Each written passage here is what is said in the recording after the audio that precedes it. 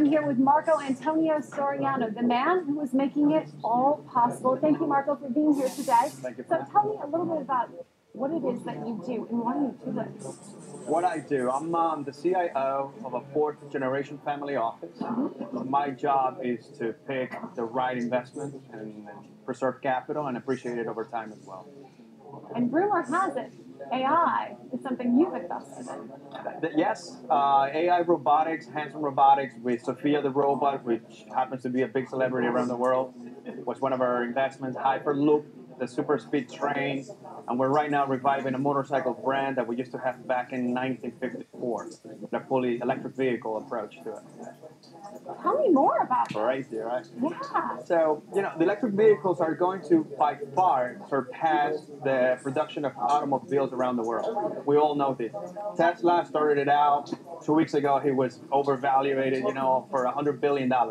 First time an automobile company actually hits those numbers.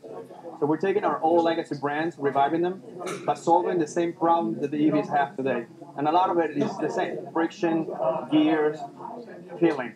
There's no feeling in these cars. I love that you mentioned the term legacy. So what is it that you want your legacy and your family's legacy to be? Investing is investing in yourself, your brand, who you are, what you've done. And in our case, as a fourth generation, we're trying to maintain that linear and obviously trying to get it to the next trend of disrupting markets. So EVs, AI, Hyperloop, all of these are examples of being part of that trend and disrupting those markets. The theme of the weekend here at the Job Boy Conference is obviously to invest in yourself. Do you have any advice on that?